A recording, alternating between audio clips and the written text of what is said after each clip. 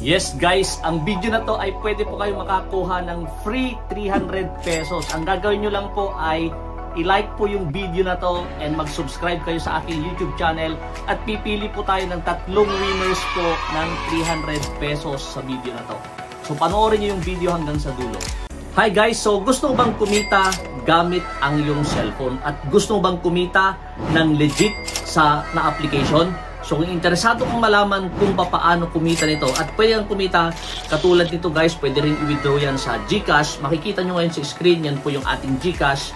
So pwede po kayo at eto guys, pwede nating umpisahan. So kung interesado ko, make sure na tapusin mong panoorin yung video at ito po ay full step by step na tutorial. Videos that teach you how to make money online, cryptocurrency, trading and passive income. Welcome to Pinoy Influencers YouTube channel. Please click the subscribe button and ring the bell so you don't miss my videos.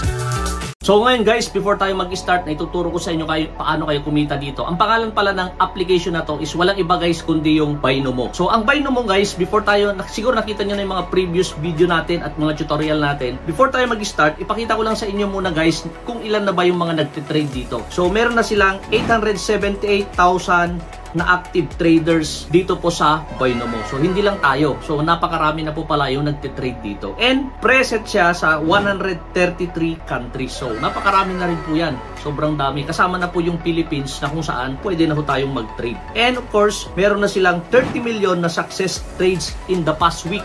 Last week lang, 30 million 520 po yung trades. Ibig sabihin yung mga nakapag-execute ng trading. And dito guys, you can start as low as $10. So, itong advantage kasi nito is hindi na kayo maglalabas ng sobrang laki para makapag-start na matutunan yung tinatawag nilang trading. As low as $10 pwede na po yan. And ang maganda pa dyan, para hindi kayo masyadong malaki yung nilalabas nyo, per trade, pwede kayo mag-start as low as $1. So $1 lang pwede na kayo makapag-trade, makapag-execute ng isang trading sa $1 nila na yan. And dito, makikita nyo guys, so pwede po yan sa application, mamaya makikita nyo dyan. And of course, pwede po yan sa, so yan nga, sa Play Store, App Store, at App Gallery sa Galaxy Store and pwede rin po siya sa meron silang online support at merong free training and kung bago ka pa, meron po kayong demo account na worth 200,000 yata or 500,000 yung kanilang demo account or 100,000. Libre po yun para matutunan nyo kung paano laruin to. And pagkatapos nyan, ito po yung address ng kanilang address yan. So para makita nyo rin.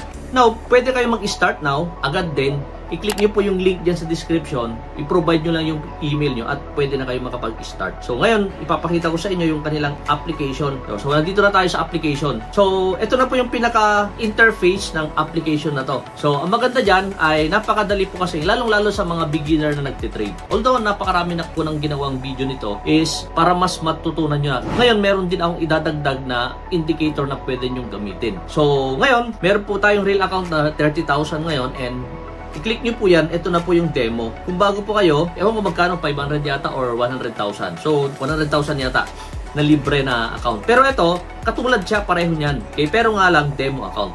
Pwede nyo munang gawin. Kung ako sa inyo, subukan nyo muna yung demo. Halimbawa, 100,000 yung puhunan nyo, kumita kayo ng 150, nung naging 150, Ibig sabihin, mas maganda. Pag gamay nyo na po yung ganong trading, eh, saka kayo pumasok ngayon sa real account. O ganun lang siya. Ngayon, punta tayo dito. Okay, so para ma familiarize nyo rin kung paano gumagana to. So, eto, yan po yung pinaka-real account nyo. Ito po yung pinaka, ay baba lang tayo. Ayan, so dito pwede ho tayo mag-deposit. Ayan, so, syempre, para makapag-start po kayo mag-trade, ay magde-deposit po kayo. Pag nag-deposit po kayo, click nyo lang po yung deposit kasi nagbabago minsan yung available na payment, paano tayo mag-deposit. Pero ngayon, available ngayon is yung Binance Pay, which is wala pong charge or wala pong fee. Ito po yung USDT, uh, Maestro or Mastercard, and Internet Banking. Yan po yung available ngayon. Plus, napakarami po yung mga QR code. So, meron pong sa Philippines, meron pong ISWES QR, BPI, QRPH, PSTB, BPI LBT, Metrobank, ito yung mga QR lahat yan, QR code, QR code. So by QR code, pwede ko tayo mag-deposit dito. As low as 500 pesos and per trade natin is $1. So, balik tayo ulit dito sa... Now, ito po yung tinatawag nilang trade nila or ito po yung chart nila. So, meron pong pair dito sa baba. So, para makita nyo, itong crypto na to is ito po yung market po ng crypto mismo. Pero marami pong ibang mga asset class. Pag clinic natin yan, meron po kayong maraming pagpipilian. So halimbawa, medyo generalized kasi itong crypto, pero meron din po siyang specific. Halimbawa, Euro against USD. Yan po ay foreign exchange or foreign currency. Ito naman ay mga foreign currency lahat mga to. And meron pa pong ibang mga cryptocurrency dito sa baba. Ito po yung mga asset class na available today. So, kung mas gamay nyo po yung foreign exchange, yan, po pwede nyo pong subukan. Pero meron din pong cryptocurrency. Yan. So, ang maganda dyan, kapag pinili nyo yung mga to, 83% yung profit nyo kapag tama po yung forecast nyo sa takbo ng price ng pair na yan. So, sana nakukuha nyo.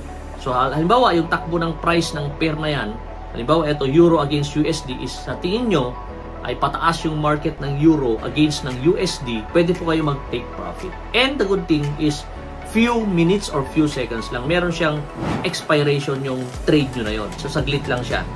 So, halimbawa, crypto na lang tayo. Yan. So, maganda dyan, magiging 83%.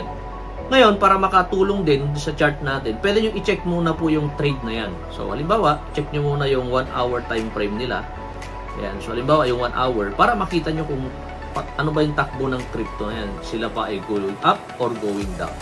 So, pwede nyo po yung balik. Balik din po kayo sa 1 minute kung gusto nyo para makita nyo po yung takbo niya. Ayan, ito po yung 1 minute. So ngayon, pwede ho tayo maglagay ng indicator. So meron akong additional na indicator na ituturo sa inyo na kung saan pwede nyo i-apply, pwede rin hindi. So depende po kung ano po yung gusto nyo. Sa previous, meron tayong alligator. Ngayon, gagamitin naman natin yung moving average. So red lang yung gagamitin natin tuturo ko sa inyo paano gamitin niya. Click lang natin yung apply. So, ito yon para makita niyo yung mga previous.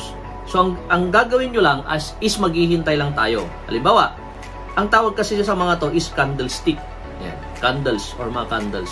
Ang hihintay natin is malalagpasan ng candle yung kulay red na linya. So, halimbawa, kapag nilagpasan niya yan, yung presyo na is pa-up. Yan, halimbawa dito, nilagpasan niya yung, dito ay nalagpasan niya yung red yung mga candles. So, pwede nating pindutin yung kulay green. Ibig sabihin, up yung price. Kapag nalagpasan niya naman yung kulay red, so halimbawa, makita natin dyan, ito, so di ba pababa naman. Kapag nalagpasan niya naman yung mga candles at pababa naman ang price mula dito, ang, di ba, eh, few seconds lang, ang presyo naman is pababa. I-click mo naman yung kulay red. Ganun lang yan guys. So sana nakukuha nyo na yung moving average. Although, uh, hindi hindi lahat naman yan all the time na ganun. Pero hihintayin nyo. Kaya click nyo muna yan kung titingnan nyo muna yung 1 hour time frame. Halimbawa, ito, paakyat pala siya. Okay? Paakyat pala yung presyo. So, pwede, pwede tayong paakyat din.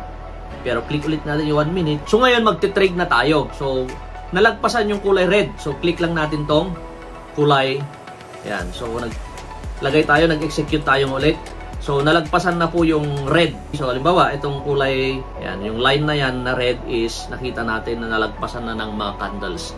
So, hihintayin natin ngayon na itong trade natin, na yung 5,000 natin is pababa pa siya. Pag bumaba pa yan, at nag-entry tayo dun sa price na 641 yata, makikita nyo naman dyan. At kapag yan, bumaba dun sa price na yan, is pwede ho tayong mag-take profit. So, hihintayin lang natin siya dyan. Yun, nakita nyo guys, nag-profit tayo ng 9,150 dun sa trade natin na yon. Kasi kanina nandun nalagpasan na natin yon at nag-take profit tayo. So ganun lang po yung mag-trade po dito po sa Binomo. Okay, pwede natin gamitin yung moving average pero gamitin nyo muna yung demo para magamay nyo po. Okay, para pero hindi yan guarantee kaagad ha. So, kailangan aralin nyo muna. And, syempre, pwede nyo po munang maglagay ka ng risk management, magkano yung target goal nyo na profit, Halimbawa, nag-take profit na kayo, pwede nyo nang ihinto. Bukas ulit. Ganun lang siya. Okay? Pero aralin nyo or hanap kayo ng magandang entry para na i-execute yung talagang garantisado kayo na yun na po yung entry na maganda. And kapag nag-execute kayo at kumita, and pwede na kayong mistop. So, ganun lang kadali yung pagte-trade po dito po sa Binomo. So, ito lang yung aking share in this video. Sana nagustuhan nyo Okay, and mag-take action kayo. Meron pong link sa, sa description. Sa withdrawal, same, nandito lang din. Guys, sa deposit, pwede rin mag, uh, nandyan na rin po yung withdrawal. So, pwede natin i-withdraw. Kung ano yung pinag-deposit natin, yun din po yung gagamitin natin for withdrawal. So, ito lang yung may share in this video. Okay, thanks for watching and see you on my next video. Thanks and bye-bye.